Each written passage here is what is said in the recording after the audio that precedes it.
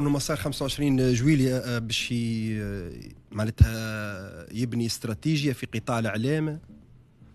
تصورش معناتها هي نفس المنهجية هي حلقات مترابطة. هذا انقلاب جاء لتقويض الديمقراطية والحريات. كما تعامل مع السياسيين تعامل مع النقابيين تعامل مع الإعلاميين. كما يتعامل اليوم مع الأزمات المعيشية للشعب في وضعية الخبز والسكر وغيره. معناتها أنا ما ننتظرش معناتها إنه آه، لأنه انقلاب لا يملك رؤية ولا لا يملك هذا قلت أكثر من مرة لا يملك رؤية ولا يملك كفاءات ممكن إنها تنجز حاجة في مجال ما. وبالتالي هي نفس المنهجية معناتها. تلقاها في المجال السياسي دك الناس في الحبس الإعلاميين اللي يتكلموا يحبوا يحافظوا على هامش الحرية. رغم إنه معناتها واقع الإعلام قبل الثورة كان معناتها رديء جدا. الثورة فتحت مجال الحرية للإعلام ويحتاج إلى برشا خدمة من أجل تطويره كنت تسمع في الأخصائيين كما سي سرحان. آه منظومة ال 25 جويليا الأكيد جات باش تدمر هذه الوسائط وباش تردها طيعة. خدمة للحكم الفردي. ما فماش آه، هدف آخر معناتها فهمت؟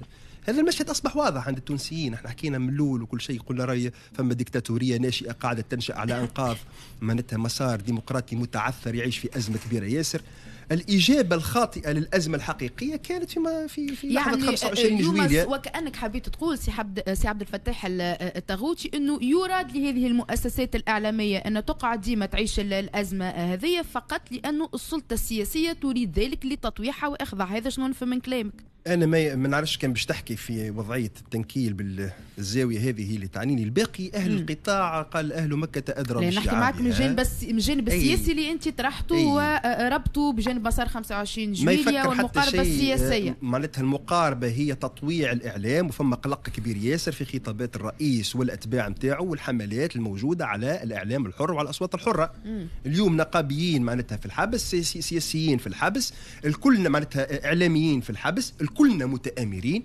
والكلنا في حالة صراح وقت.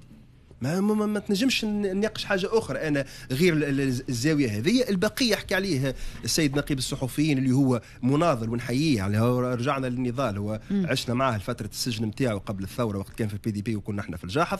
اليوم معناتها نحييه على معناتها النضال نتاعو ومواصلة النضال نتاعو هو والفريق نتاعو كنقابة ما زالت معناتها واقفة لأنه الصرح الأخير هو الإعلام اللي كان طاح الإعلام. أيه خلنا خلنا فعلا في طور نطرح لك وجهة نظر آه، مختلفة. يقول لك اليوم اليوم السلطة اللي كانت موجودة قبل 25 جويلية. علاش هي ما حلتش الملفات هذه اللي كانت مطروحة تقريبا بعد 2011 ما قيلش في حركة النهضة وغيرها من الحكومات اللي كانت تحكم اللي هي أيضا بدورها أرادت إخضاع عدد من وسائل الإعلام بدورها ما حبتش خلتها ديما تحب تقعد في أزمة لتطويحها. يعني الكلام اللي تقولوا فيه اليوم على 25 جويلية قيل أيضا على حركة في نفس النهضة.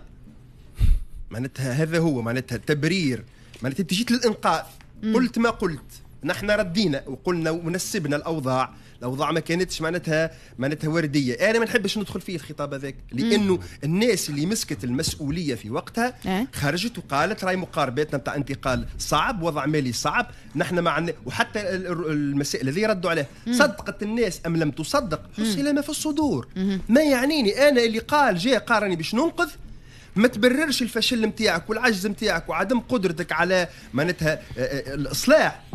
باخطاء من من سبقوك. بل بالعكس أنت زدت الطينة بلة زدت الوضع تعقيد وزدت تأزيم. جيت باش تحل الإشكاليات. كما جات النهضة وقالت راني لقيت وضع خايب.